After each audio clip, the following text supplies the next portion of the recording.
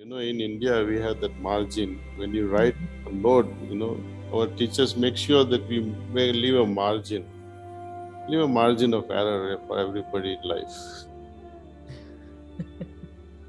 including self. There'll be peace then. See.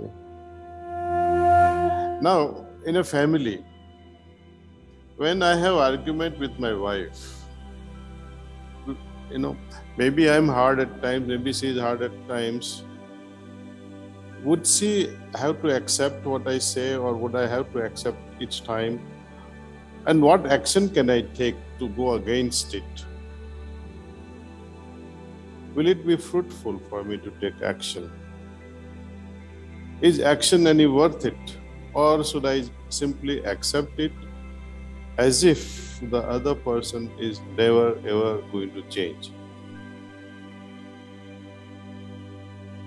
And once you settle down with this in your heart, is peace.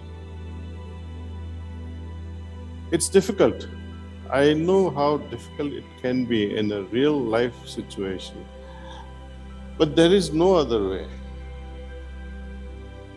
if I don't accept the situation which is troublesome,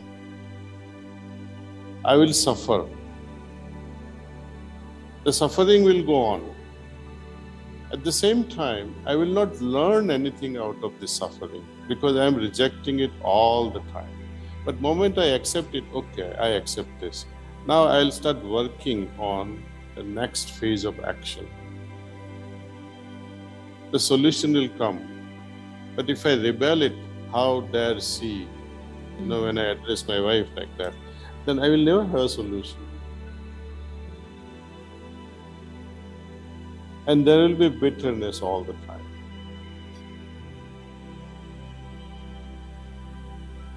So, understanding that I am weak, other person is also weak. I am imperfect, she is also imperfect when there are imperfect beings, there is going to be noise and friction. It's okay. Leave a little bit of margin. You know, in India, we have that margin. When you write a note, you know, our teachers make sure that we may leave a margin. Leave a margin of error for everybody in life, including self. There'll be peace then. See? So when we love, we let go of so many mistakes we close our eyes. Okay, go ahead, go ahead, do that. It's all right. Acceptance shows how much you love the other person.